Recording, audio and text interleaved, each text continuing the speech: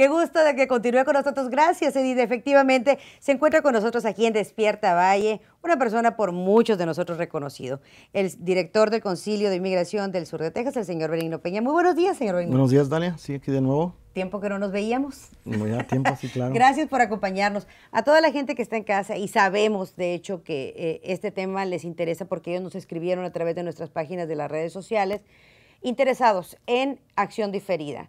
Las personas que calificaron, que fueron aceptadas para esta, para esta aprobación migratoria, ¿qué es lo que tienen que hacer?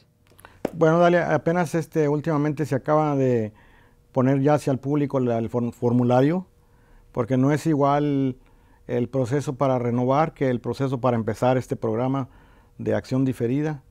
Eh, los que van a entrar por primera vez, ya de tiempo se, se les ha estado invitando, pero van a tener que cumplir con todos los requisitos de la, del mandato que puso el presidente Obama. Los que van a renovar simplemente pues van a tener que comprobar que, comprobar que han estado continuando radicando en los Estados Unidos y que se mantienen ¿verdad? libres de problemas con la ley. Este, ya se aclaró de que entraron a cierta edad, ya se aclaró de que se educaron aquí o están recibiendo educación y también se aclaró que están libres de problemas con la ley. Entonces, a ellos simplemente van a renovar su programa de dos años y ya están en el público el formulario diseñado para los que quieren solamente renovar. Eh, es de mucha importancia aquí, ¿verdad?, mantener en mente de que estos programas no son ley, no hay apelación porque es una orden ejecutiva del presidente, así es que no hay manera de apelar uno las decisiones que salen, ya sean negativas. Ah, lo único que hay es que puedes renovar tu caso de nuevo. ¿Y eso, eso qué significa? Pues que... Tienes que volver a, pagar la cantidad. ¿Cuánto se paga por una acción diferente? 420, que es básicamente el permiso para trabajar.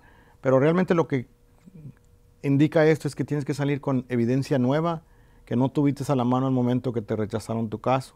Entonces, si encuentras evidencia nueva que tenga tu nombre, fecha y dirección para comprobar tu residencia, que es donde en la mayoría de los casos se están negando que personas no pueden comprobar que han estado aquí el tiempo requerido, entonces lo de mucha importancia son aquellos documentos que traen tu nombre, fecha y dirección, eso es lo que se está aceptando.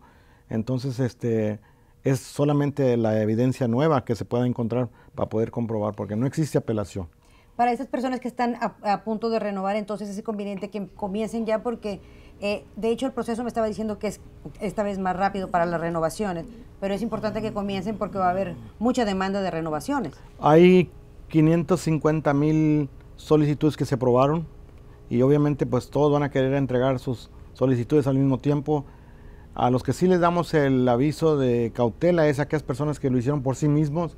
No debes de destruir ningún tipo de documento porque lo tienes que tener a la mano por si el gobierno decide eh, investigar tu documentación, pues la puedes tener a la mano. Hay personas que archivan y se les olvida hacer copia o, guardar ¿verdad? sus documentos, entonces esto es de mucha importancia para aquellos que están renovando, de mantener a la mano la documentación que se haya entregado anteriormente, porque se puede pedir de nuevo. Para las personas que van a hacerlo por primera vez, que en aquel momento no entraban dentro de este proceso, pero que lo van a hacer ahora, ¿qué es recomendable entonces? Eh, primero que identifiquen que tienen suficientes pruebas para comprobar que entraron antes de la edad de 16 y que han mantenido su estancia aquí sin documentos, porque hay gente que quiso entrar con tarjeta local y eso te descalifica porque aquí se trataba de estar en Estados Unidos sin papeles o en violación de ley. Eh, buscar todo ese tipo de documentación para comprobar eso antes de entrar, porque ya entrando al proceso eh, el tiempo cuenta. Y entonces, si ¿Cuánto es el tiempo que tarda en, aceptarse una solicitud? A veces son 30, 60 días. ¿eh? Ahorita se está tardando para aprobarse una solicitud más de seis meses. ¿Y las renovaciones cuánto tardan? posiblemente estas van a ser Dentro de 90 días se va a renovar todo rápidamente. Sugerencias para la gente que nos está viendo, señor Benigno, porque muchas de las personas aprovechan esta oportunidad para hacer su agosto y defraudar a la gente. ¿Con quién tenemos que ir? ¿Qué es lo más recomendable?